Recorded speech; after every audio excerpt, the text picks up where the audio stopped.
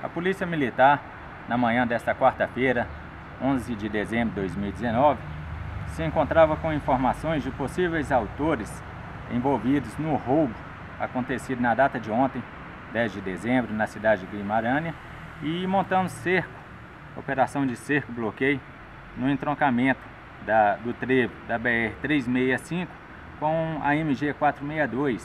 a fim de fazer abordagem a um veículo sedã de cor prata que estaria envolvido é, nesse roubo é, na data de ontem. Inclusive, onde estaria dois autores, possivelmente armados, é, com revólver, onde a gente deslocou as equipes policiais, montou o cerco e bloqueio para proceder à abordagem. Porém,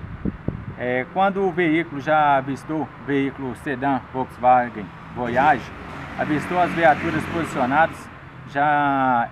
desobedeceu a ordem emanada pela autoridade policial que se encontrava no primeiro bloqueio, é, transpôs esse cerco, esse bloqueio inicial, o primeiro. Em seguida, ainda imprimiu maior velocidade no veículo, colocando em risco a integridade física dos demais é, ocupantes da via, dos militares policiais que estavam é, posicionados. Transpôs um segundo bloqueio, inclusive quase colidindo com a viatura policial, e somente parou no terceiro bloqueio, onde estava uma outra viatura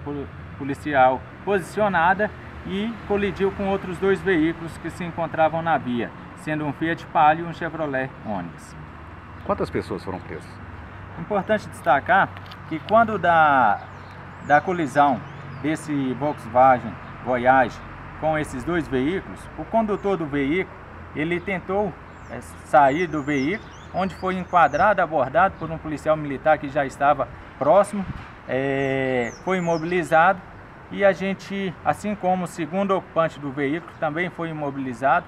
E ao proceder à busca no veículo, a gente identificou grande quantidade de drogas, é substância entorpecente semelhante à maconha, no banco traseiro do veículo, onde a gente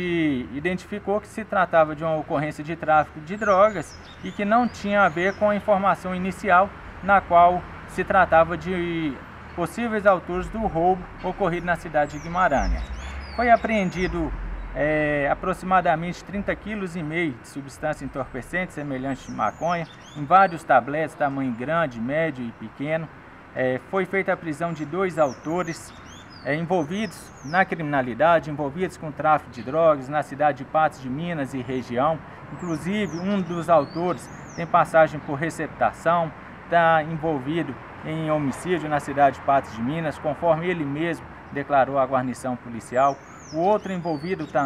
também, o segundo, o, que, o passageiro do veículo, também envolvido com tráfico de drogas na cidade de Patos de Minas. Então, os dois indivíduos aí com vasta e extensa ficha criminal nos meios policiais. É importante sempre a gente trabalha tanto na cidade de Patrocínio, 46 Batalhão, como na décima região da Polícia Militar, o 15º Batalhão e todas as, as unidades da Polícia Militar sempre fomenta o Disque Denúncia Unificado 181, onde o cidadão de bem tem a contribuir para a segurança pública local ao passar informações sobre autores é, de tráfico de drogas, de roubos, qualquer denúncia que seja de interesse da Polícia Militar. A gente pede para que a população contribua e faça a denúncia através do 181, Disque Denúncia Unificado.